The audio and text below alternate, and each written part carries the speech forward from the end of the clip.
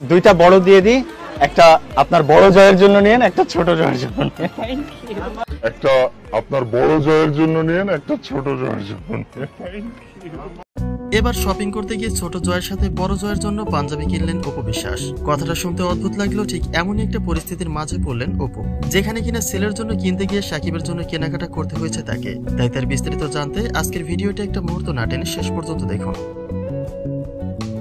বর্তমানে সাকিব অপুর নতুন প্রেমের কেমিস্ট্রি নিয়ে নানা সময় বিভিন্ন রকমের গুঞ্জন ওঠে। এমনকি মাঝে মাঝে তাদের লুকিয়ে ঘর সংসারের খবরও তৈরি হয়। যদিও তার কোনো বাস্তবতা দেখা যায়নি এখন পর্যন্ত। তবে তার মাঝে স্বামীর জন্য পাঞ্জাবি কিনে আবারও আলোচনায় এসেছেন অপু বিশ্বাস। তাদের বিচ্ছেদের গল্পটা সারা দেশবাসী জেনেছিল আরও ছয় বছর আগে। কিন্তু চলতি বছরে এসে যেন তাদের সেই ভাঙা সম্পর্কে জোড়া লেগেছে।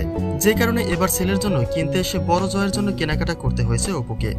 দুইটা বড় দিয়ে দিই, একটা আপনার বড় জয়ের জন্য নিয়েন, একটা ছোট জয়ের জন্য একটা আপনার বড় জয়ের জন্য নিয়েন, একটা ছোট জয়ের জন্য বিক্রেতা এখানে বড় জয় বলতে যে সাকিবের কথাই বুঝিয়েছেন সেটা তো নিশ্চয়ই কারও বুঝতে বাকি নেই। তবে অপু জানিয়েছেন সাকিবের জন্য কেনাকাটার বিষয়টি নতুন কিছু নয়। তিনি মাঝে মাঝে ছেলের জন্য কিনতে গিয়ে ছেলের বাবার জন্য কিনে ফেলেন। সো এটা তার কাছে একটা কমন বিষয়। সাকিব তার ব্যস্ততার কারণে কখনই নিজেকে সময় দিতে পারে না। যে কারণে অপু এখনও সাকিবের জন্য পোশাক কিনে থাকেন। কিনে শেষ কবে অপু বিশ্বাস শাকিব খানের জন্য শপিং করেছে? আমি তো বাচ্চার সাথে ম্যাচ করি মানে কেনা হয় সো এখন কথা হচ্ছে মাঝে মাঝে দেখা যায় ছেলের জয়কে নিয়ে মসজিদে গিয়ে জুম্মার নামাজ আদায় করেন শাকিব খান, যার মাঝে কখনো কখনো বাবা ছেলে সেম পাঞ্জাবিও পরে থাকেন। তাহলে প্রশ্ন হচ্ছে সেই পাঞ্জাবি সাকিবকে অপু কিনে দেয় কিনা? কারণ এই শপেও দেখা যায় বিক্রেতা তাকে সেম কালারের দুইটি পাঞ্জাবি দিয়েছেন, যার মাঝে একটা ছোট জয়ের এবং অন্যটি বড় জয়ের।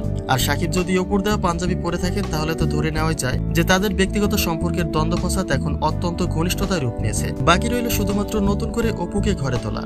তবে এ বিষয়ে আপনার কোনো মন্তব্য থাকলে অবশ্যই কমেন্ট করতে ভুলবেন না।